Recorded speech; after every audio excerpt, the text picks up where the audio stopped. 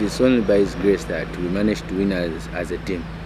Yeah, coming off the bench, I think I was I was given instructions by the coaches to say just go and do your best and help the team win. Yeah, and scoring the the two goals, yeah, I think credit goes to the team. It is without them I couldn't have done it. Yeah.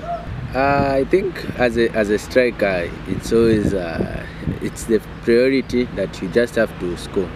And scoring at the, this big stage, uh, scoring for Mother Zambia, I think it has given me a lot of motivation going forward. Very important, I think. We were told by the coaches say the first game is always important, and first win uh, of the tournament. It, I'm sure it has motivated everyone, and we have we have that power to push.